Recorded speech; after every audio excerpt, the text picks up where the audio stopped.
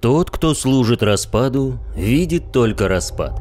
Но тот, кто служит истине, всегда засвидетельствует, что за любым падением виднеются черты будущего изобилия.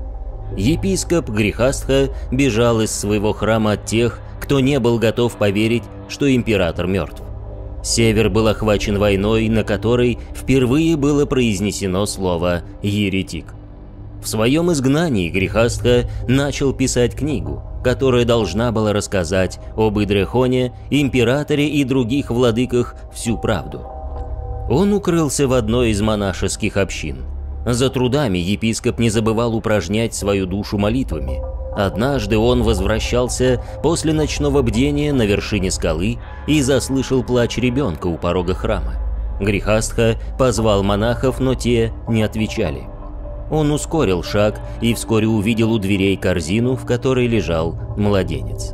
Взяв корзину, епископ начал стучать в дверь церкви. Но и теперь монахи оставались безмолвны. Тогда, навалившись всем телом на дверь, он вырвал крюк из стены и оказался внутри храма. Братья были мертвы, а среди окровавленных тел стоял первый епископ Рейхлин, нареченный брат самого Грехастхи. «Что ты делаешь?» – воскликнул епископ, прижимая к себе корзину с младенцем. «Искореняю ересь», – последовал короткий ответ. Никто не знает, как случилось так, что Грехастха оказался над мертвым братом с окровавленным ножом в руке. Оставив бездыханное тело Рейхлина прямо у алтаря, Грехастха уходил на поиски нового убежища. Епископ уносил с собой дитя – он еще не знал, что станет воспитателем самого короля чаш. Чтобы написать свою книгу, нужно прочитать чужие. Ты будешь либо соглашаться с ними, либо опровергать их.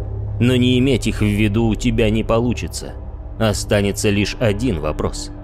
Какой была самая первая из книг?